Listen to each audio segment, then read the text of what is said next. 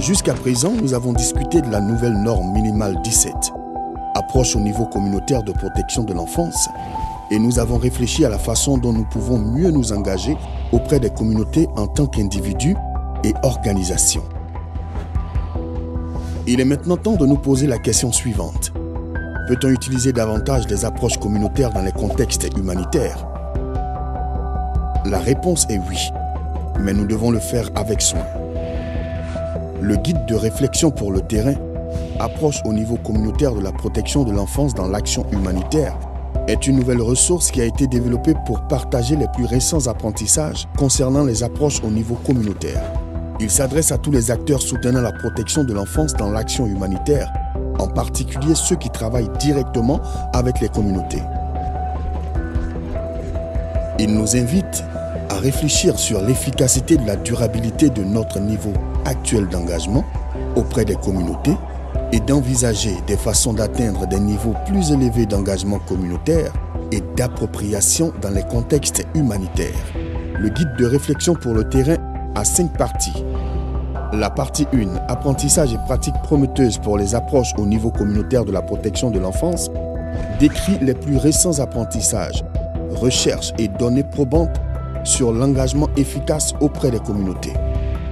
La partie 2, comprendre votre approche actuelle de la protection de l'enfance au niveau communautaire, présente différents types d'engagement avec les communautés, ce qui nous aidera à réfléchir à l'efficacité et à la viabilité de notre niveau actuel d'engagement communautaire.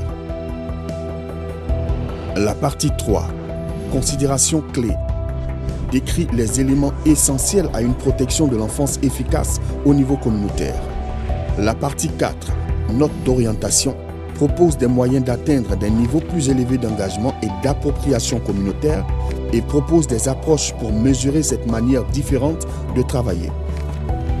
Enfin, la partie 5, terminologie et ressources clés, fournit des explications supplémentaires et des liens vers des ressources externes. Retournons au camp des Minas. Vous pourriez utiliser le guide de réflexion pour le terrain pour préparer votre travail auprès des membres de la communauté que vous avez rencontrés lorsque vous vous informiez sur le contexte et les structures communautaires existantes.